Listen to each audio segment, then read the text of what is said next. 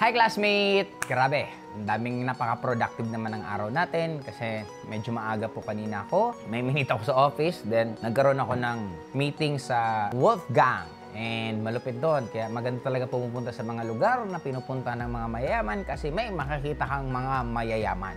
Nakita ko doon si Marvin Agustin, no, di ba? Gusto ko sana siyang kausapin at chikain doon sa kutsinilyo niyang pork.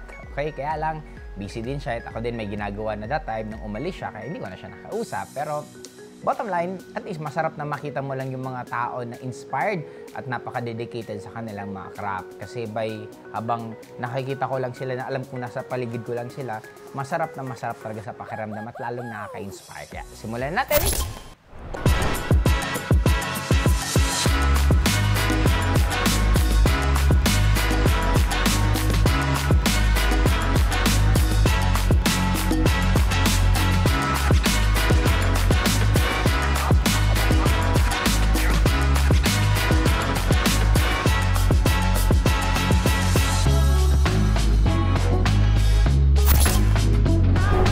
Unang-una, bati tayo. Gusto ko pong batiin, ito lagi ko tong nakikita, si PK Rods ng 1563 ng Jensen. Um, kung tama, Jensen ba to? Anyway, um, sabi niya, pa-shoutout daw kasi may depressed na pinagdadaanan yung girlfriend niya and kayang-kaya mo yan. Basta isa lang sure ko, lahat ng pinagdadaanan natin, malalagpasan din natin. Kaya tuloy-tuloy lang. At lalo na, lahat ng dinadaan natin, may tinuturo siya, may lesson siyang binibigay sa atin para sa next level na pupuntahan natin. Okay? Sunod naman natin, anyway classmate, ang bigat ng tiyan ko. Busog na busog ako. Salamat po sa uh, kaklase ko, nagbigay ng BDB Burger. O, di ba? BDB Burger, napakasarap po. Kaya kung meron po mga taga Manila dyan, pwede po kayo mag-order sa kanya, pwede po kayo mag-online, message lang po siya sa kanyang fan page. Napakasarap, napapaka, napakabigat pa po. Okay? Sunod, nababatiin ko po si Gavia Tienza 5004. Hello po sa'yo. Um, hi. Sabi niya, tuwing may ina-upload daw ako para siyang nireregaluhan. Yes, totoo po yan, classmate. Kasi isa po ako sa nagiging vehicle ng mga messages na papunta po sa inyo. Kaya sobrang salamat po sa suporta. And last but not the least, ito naman po si Life Lesson 03. Wow, the great mentor. Hopefully, ma-shoutout mo ako. Okay, na-shoutout na kita. Well, anyway, classmate, gusto ko sana mag-isip ng title ng panibago na gagawin sa inyo. Kaya lang na-realize ko, sa comment mismo pwede na tayo meron pag-usapan. Kasi meron po ditong isa. Okay? Um, babating ko na po si Charlie L. Bigos. Sabi niya, pwede pa ba ako aasenso sa buhay? I'm 58 years old. May nag-aantay pa bang kayamanan para sa akin? Unang-una, Tito na natawagin ko po sa'yo, Um, gusto ko pa lang po maintindihan nyo, Tito, na napakarami po na kumita at naging asensado pa, lag, even sa mga edad na po nilang matataas. Meron pong isa, si Colonel Sander, na nasa mga 50 plus na siya pataas. It's the same kay Ray Kroc. Si Colonel Sander po, siya po yung um, author at nag-isip po mismo ng recipe ng KFC. Si Ray Kroc naman, nasa 50 plus na rin po siya pataas nung naimbento niya po yung system mismo ng McDonald's. Ray Kroc saw the potential in the McDonald's brothers concept and he knew that he could take it to the next level. Okay, oh, meron pa ako ditong babasahin. Ito po si Gladys Burrill. 92 na po siya nung natapos niya yung marathon niya. Imagine mo at age of 92. A North Carolina cancer survivor is attempting to become the oldest woman to finish a marathon. 92 year old Harriet Thompson is running in the Rock and Roll Marathon in San Diego Sunday. This is her 16th time competing in the race. What will it mean to you to set the record for the oldest woman to complete a marathon? Ito naman po si Mumu Fuku Andu. Siya naman po ang author. Siya nakaisip po mismo ng tinatawag na instant noodles. Naisip niya po yan at age of 50. And last but not the least, ito po pinaka nai-inspire po ako, si Ruth Larson. Kasi 103 na po siya nag-skydive. Yung mga classmate, no? 103. Hindi naman po siya mag-isa, pero may kasama po siya. Pero imagine mo, 103. Tapos ang iba sa atin, takot na takot pa rin tayo mag-skydive. Ngayon, bottom line para sa akin, isipin mo na lang ganito. Kung, ulit yung ilang taong ka na nga, taka kalimutan ko tuloy. 58, tama ba pagkakabasa ko? Yan, 58 years old ka na. Ngayon, classmate na 58 years old. Ito ang lagi kong mindsetting sa buhay. Naalala ko way back before, pag nag-aantay ako ng jeep, kasi taga Bicol po ako, sa lugar po kasi namin, kadalasan, pag mga 11 na ng gabi, alas 12 ng gabi, wala ng jeep noon. Ngayon, ang ginagawa ko, habang nag-aantay ako ng jeep, naglalakad na ako pauwi kasi from pinupuntahan kong Legazpi to Daraga, nasa 5 kilometers lang naman. Kaya habang nag-aantay ako ng jeep, naglalakad na ako. Para wala man dumating na jeep, nakauwi pa rin ako. In short, laging ganun ako kung sumusugal ako classmate, lagi akong gusto ko it's either tabla o panalo. Parang naalala ko dati classmate nung naglaban po si Pacquiao tapos si Mayweather. Pumusta po ako kay Mayweather. Bakit ako pumusta kay Mayweather? Kasi gusto ko pong manalo si Pacquiao. O di ba ang gulo ko? Eh bakit ako pumusta kay Mayweather kung gusto ko manalo si Pacquiao? Pacquiao? Kasi gusto ko po maging masaya. O di ba lalo ako naging magulo? Okay, dadahan-danin ko.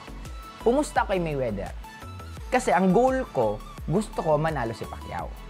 Para pag nanalo, okay, nanalo example si Pacquiao, natalo si Mayweather, masaya po ako kasi bilang Pilipino, I will be very proud na meron unang nakatalo kay Manny, ah, kay Floyd Mayweather. Kung hindi si isang Pilipino na si Manny Pacquiao. Ngayon, eh bakit ako pumusta kay Mayweather? Para kung manalo man si Mayweather, syempre malulungkot ako kasi natalo yung Pilipino. Kahit pa paano, nabawasan yung lungkot ko kasi masaya pa rin ako kasi nanalo ako sa pusta. In short, yun ang gusto ko sabihin sa'yo, classmate, na sana ma-realize mo na 58 years old ka na ngayon. Okay, example na lang classmate for discussion purposes. Hindi ko nang po sinasabi na anything na bad. Example na lang hanggang 70 years old ka na lang po. Ngayon, kung ang magiging thinking mo, 58 na ako, wala nang mangyayari sa buhay ko, hindi na ako susubok, araw-araw na lang ako manonood ng TV, mag-aantay kung anong oras matatapos kakain, anong oras matutulog, anong oras gigising. Kung gano'n na lang ang buhay mo hanggang 70 years old, ilan yun? 2, 10. Di 12 years kang wala halos na ginagawa. Ang boring ng classmate. Now, dulo, what if 58 ka, sumubo ka. Maniwala ka lang, nayayaman ka. Yumaman ka o hindi, ang importante naniniwala ka. Yayaman ka man o hindi, ang importante sumusubo ka. Kasi anong point ko? Classmate, try to imagine this. Kung ngayon, sinusubukan mo, gumawa ka ng panibago, mag-explore ka, maghanap ka ng panibagong opportunity, gawin mo yung mga bagay na hindi mo pa nagagawa, di at least nagkaroon ka ng excitement na 12 years ng buhay mo. Kasi bottom line para sa akin, classmate, it does. Sabi nga nila eh, we grow old not because of our age. We grow old because we forget to play. Nakalimutan lang natin, classmate, maglaro. Nakalimutan natin maging bata ulit. The same with you, age is just a number. Anong, hindi naman importante kung anong age ka yumaman, hindi importante kung anong age ka nagsimula. Ang importante, ngayon, simulan mo ang pagbabago ng buhay mo para maging masaya ka. Kumbaga para sa ang classmate, sabi ko nga, after ng se- sabi, 70 years old ka, hindi ka man yumaman. Pero yung 12 na taon na yun, naging masaya ka naman. Yung 12 na taon na yun, napakaraming bagong na experience. Yung 12 na taon na yun, dun mo na-realize na ang dami pa palang pwedeng magawa. Tanong ko, classmate, natalo ka ba dun kung hindi ka man yumaman? Eh, ang malupit pa niyang classmate, paano kung yumaman ka? Kaya sana ma-realize po natin sa lahat po ng nanonood ngayon ng vlog na to, wala pong masama kung magsimula ka ulit. Gaano man karami kang beses na dapa, gaano ka man beses na pinagtatawanan ng ibang tao, walang importante yan. Hindi yan importante, classmate. Ang importante ikaw, ang importante, sigurado ko, pag nagsimula ka pa lang, sa desisyon mo pa lang na gusto mo magsimula, mag-iiba na ang tingin mo sa sarili mo, mag-iiba na ang pakiramdam mo. Doon pa lang, classmate, panalo ka na. Wala ka pang kinikita, wala ka pang nilalabas na pera, wala ka pang sinusubukan. Nag-isip ka pa lang na gusto mo ulit magsimula, 100% na napakasarap na ng pakiramdam niyan. Ngayon, yung nararamdaman mo ngayong classmate habang pinapanood mo tong video to, alam ko ibang nararamdaman mo ngayon. Nung nararamdaman mo to ngayon, what if araw-arawin mo yan? What if araw-araw ganyan ka, ka-energetic nararamdaman mo, ganyan kasarap yung pakiramdam na para kang lumulutang, na para kang nililipad, na parang lahat ng pangarap mo natupad na. O di ba, panalo ka na. Diyan pa lang, classmate, wala ka pang nakukuha, wala ka pang pera. Hindi mo pa nakuha pangarap mo, pero panalo, panalo ka na. Tandaan mo, classmate, ang buhay. Sinabi ko naman to, hindi naman to paramihan ng pera, hindi naman to padamihan ng kotse, hindi to padamihan ng malalaking bahay. Ang labanan ng buhay, paano ka magiging masaya araw-araw. Pwede ka maging masaya na meron ka, pwede ka maging masaya na wala ka. Pwede ka maging masaya na nangangarap ka, pwede ka maging masaya na nakuha mo na pangarap mo. Bottom line, ang happiness nasa tao yan. Kaya simulan mo na classmate, ako naniniwala ako sa panonood mo palagi dito sa vlog ko, panalong panalo ka na.